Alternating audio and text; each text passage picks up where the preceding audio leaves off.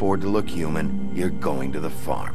It's as simple as that. Do you have any idea how much it costs to have an entire family in Glamour? I can't finish the mirror. It's missing a piece. Crane must have taken a shard with him. The open arms. Enjoy your stay. Thanks, Bigby. And thanks for covering for me last time, too. Bigby? How could you do this to me? I guess I finally see you for who you are! Tell me who did it! Just tell me who did it! I know you know! I don't think he did it. What? Look at him. Do you really think this man murdered these women?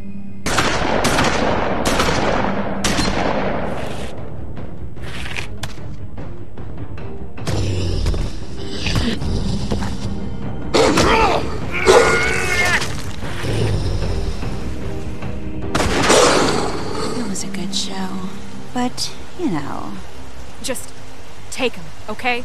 Take Crane. Well, this is gonna be a beautiful relationship we have with you guys. Really. I mean it. Out with the old, in with the new. Long live the Queen.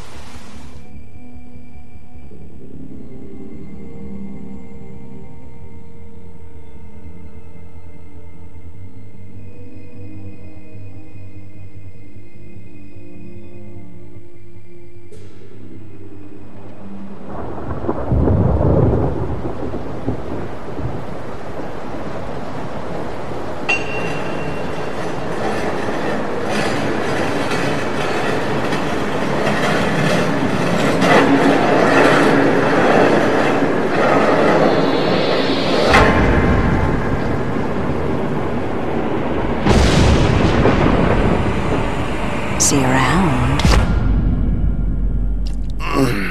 Hollow point bullets are a nasty business. The silver slug deformed and shredded on impact. He'll be okay, though. Hmm? He'll be okay? His internal organs are positively riddled. If I don't extract every single scrap of silver, he's liable to suffer some long-term toxicosis. Easy there. Try not to move.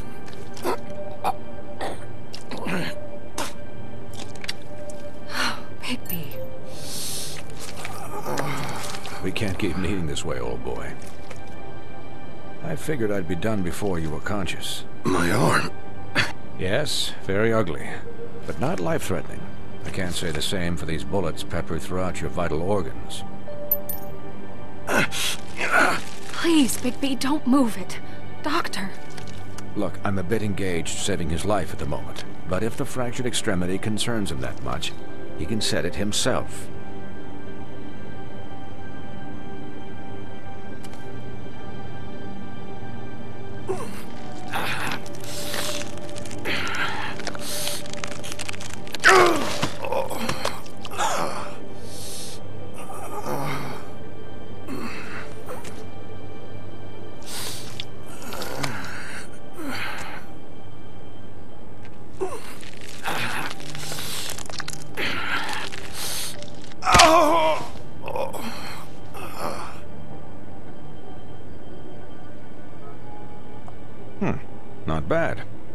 Do, I suppose. He's lucky to be alive, and he won't be next time if he keeps going like this. He didn't listen to me before. Maybe he'll listen to you. I don't know about that. Well, he should. There are limits to what even I can do. This is the job. Quiet. Just relax.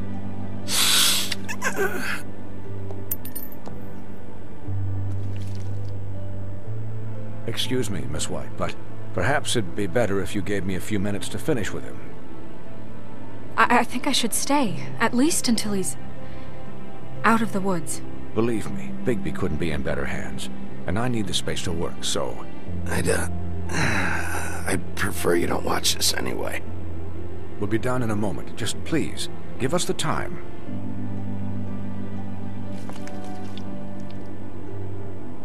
Hey, Doc, how much longer? Colin, leave him be. It's finished when it's finished. Cause I once watched a vet sew a turtle together in ten minutes flat. Colin, you're not even supposed to be here right now. Oh, really? Where am I supposed to be? I'm here to take care of my friend. W- With what? Your hooves? Hey, listen, Please, lady. keep it down back there. Thank you.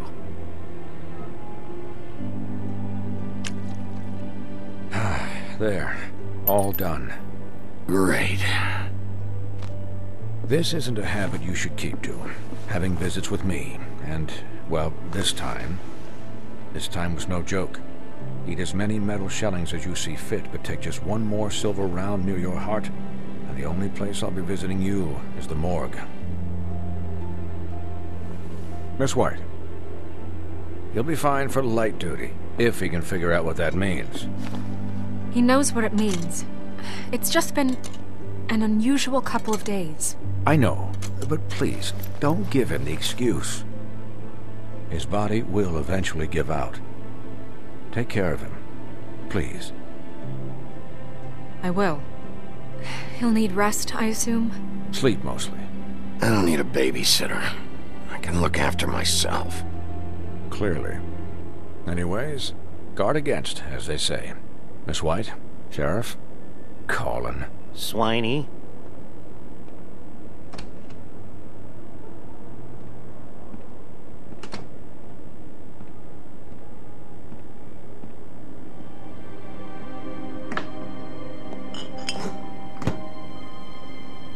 So, how do you, um, feel? It's Bigby, Snow. He'll be okay. How do you think I feel? Like shit. You should see how you look. You had us. you had us worried there for a while. You, uh, you stopped breathing, you know, when you passed out or. or died, I guess. It, um. It kind of scared the hell out of me. I've never seen you like that. And when Swineheart arrived, you know him, he's never worried. And even he thought you were. I don't know. It was just awful.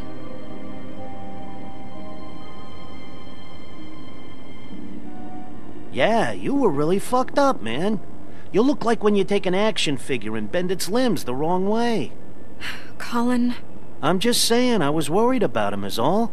The guy hasn't had a night's rest in days. we'll all get some rest when this whole thing is done. What whole thing? What's even happening out there? I mean, do you guys have like a plan or something? And who should I be asking? Should I be worried about the Crooked Man taking over? Or is Crane still the thing? The Crooked Man, Bloody Mary, the Tweedles. This is bigger than what I thought it was. Yeah. The Crooked Man came out of the shadows for a reason. For him to attack us so blatantly like that. He either feels invincible or desperate. Well, if those are my two options, I don't think I'd pick desperate. What do you mean? You traded Crane to save Bigby. I'm just saying, that's not exactly something you do when you're playing with house money. Yeah, about that. It wasn't your fight to surrender. And what the hell does that mean? It means that I was the one getting shot to shit, so I'm the one that gets to raise the white flag. And only when I want to raise it. Look, Snow, I could have... Could have done what? Gotten yourself killed? Let Crane get away anyway? It was the only option. All I care about right now is just what does the Crooked Man want out of this? I thought he was just a loan shark, but clearly he's operating in other circles. It can't just be about Crane, right? Getting him out of town? Is this all about the murders? Crane can't be useful to him anymore. So what could this have to do with Faith and Lily? This is about those girls, and it'll always be about those girls. Nothing will change that. We'll see. The Crooked Man declared war against us last night. At least that's what I thought when it happened. But now I see this war has been going on for years. We just haven't noticed it because our way of doing things is broken. We need to do things the right way. What does that mean? The right way? What do you think I mean? I don't know, but it suspiciously sounds like your way. I can only do things the way I do them. And where has that left us so far? Excuse me, but it's left us with a name. Maybe the name, the Crooked Man. That's not good enough. So, starting now, we do everything cut and dried.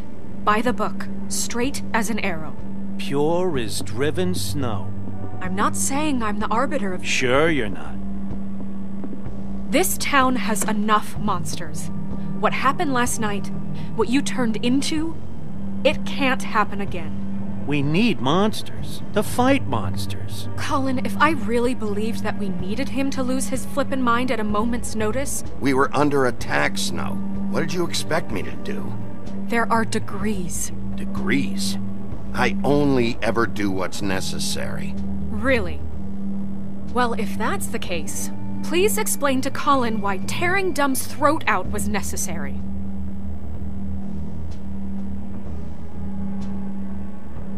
Because I fucking felt like it, okay? I wanted to destroy something. Is that what you want to hear? No, Bigby. It isn't. Look, Bigby, I care about how this is done just as much as I care about it getting done. So for that, you want to give him a handicap? Like the bad guys will worry if shit gets sloppy. Everybody wants Bigby to smile and shave and take a shower now and then. Well, at least someone understands. Thanks, Colin. He'll get the job done. Just let him do it. I'm going to. I'm going to let you do it, okay? It's just that. Now that I'm deputy mayor, I need your respect. And this situation has to end. What situation? All unglamored fables starting today have to go and stay at the oh, farm. Oh, give me a fucking break. Are you gonna let her talk to me like that? It's been the rule for a reason, Colin. That's not gonna happen. Yes, it will. It's an impossible rule to enforce, Snow. You really expect to round up every talking cat and raven in town? There's not that many stragglers left. Except the one or two you make excuses for.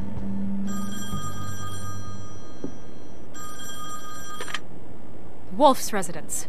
That's rude. Oh, Buffkin, what is it? Okay, I'll let him know. Thanks. Guess who's waiting in your office right now? Nerissa. Nerissa? That broad from the puddin' and pie? Yes.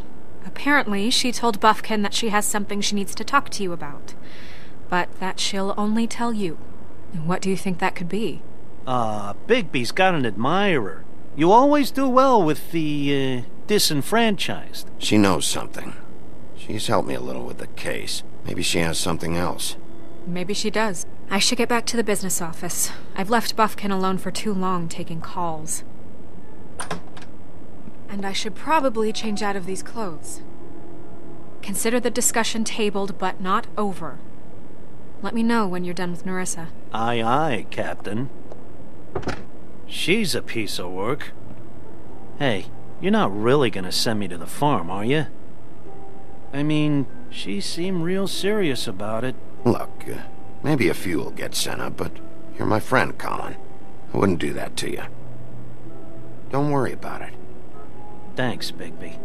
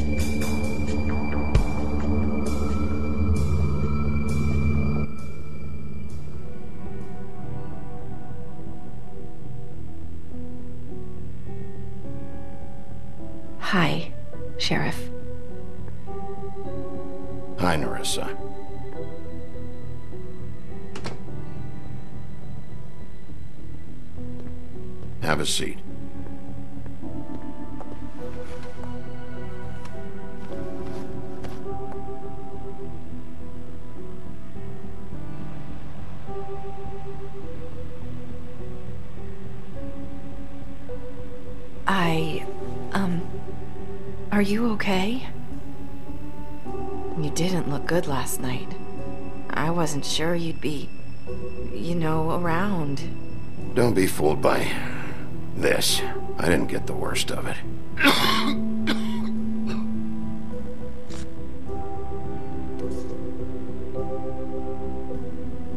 Huff and Puffs. Not many people smoke those.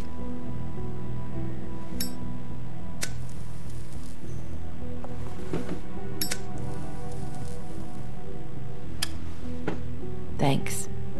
So what was that back there with Crane? He wanted you to tell me something. You know, it's not too late to talk. There's not a lot that I can talk about. You know that. So that spell Crane was trying to break. It's not just while you're at work, huh? What I mean is, I don't want to waste your time, but I don't want you wasting your own time either. Back in the dressing room, at the pudding and pie, I told you what I was looking for, and you found a way to tell me. You sent me to the open arms.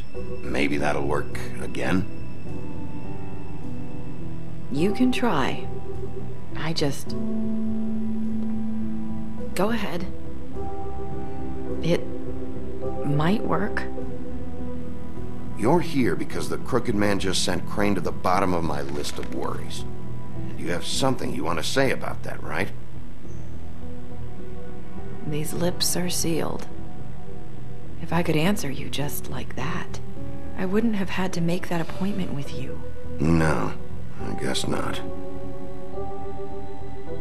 Sometimes we have to find our way through life on our own, grasping and fumbling in the dark. I. I used to have friends to help me find my way, but now they're gone. And I don't know what to do. Are you trying to say something about Faith and Lily? What I'm saying is friends matter. And I. I don't have any left. So I hope you're looking after yours. Are you? Look around you. Who are you talking about?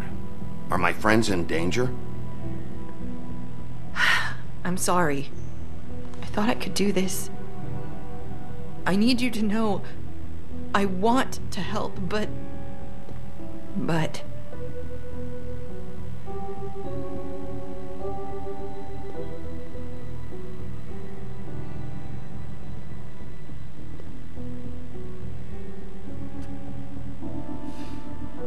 I'm sorry if I'm wasting your time. I thought I knew how to say it. Ribbons. Faith wore one too. Do you like it? Hmm? Do you?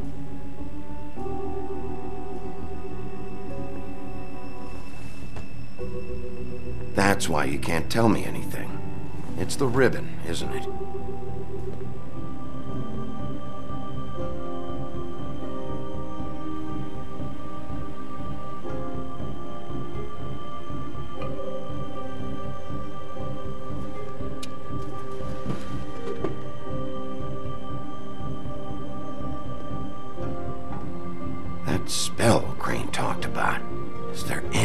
to break it. Is there something I can do about it? No! Lips are sealed! What? You can't! Just stay back! You can't do that! Slow down. It's all right. I'm not gonna do anything. Please, don't.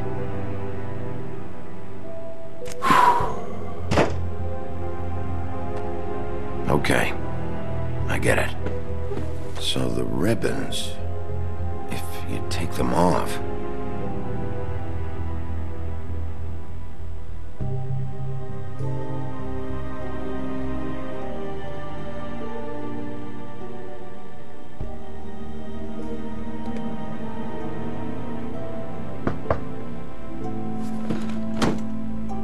If anyone finds out I came here, that's probably Snow. Listen, Sheriff. Can you keep this conversation between us? I could be in a lot of trouble. I'm gonna have to tell Snow. She has to know about the ribbons. If you have to, just don't tell anyone else.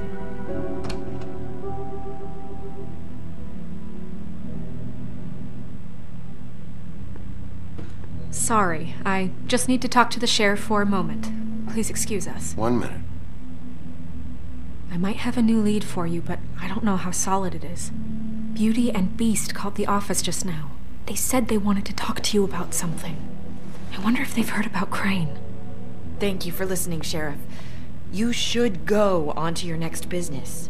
I don't think you'll be wasting your time. Wait, you don't have to go.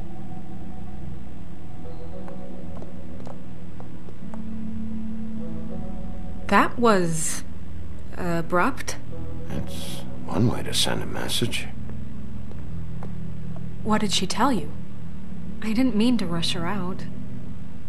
Did you get anything from her? She couldn't really say anything. The magic that Crane was talking about, it's in the ribbon.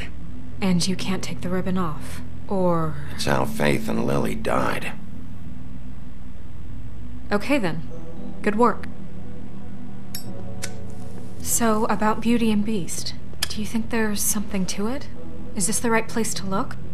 What could they know about the Crooked Man? Or do you think they just heard about last night, and they're scared about what's been going on? That's what Nerissa was doing, telling us to go there.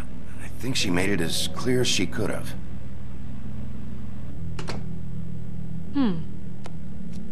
You know, Beauty came to me a while back. She was looking for financial assistance. I told her there was nothing I could do, and. and she said that meant she'd have to go somewhere else. Bigby, you don't think she meant that she was going to go to the Crooked Man, do you? That would explain why they called. We need to solve this before something else happens. Who knows what? I have other matters to attend to.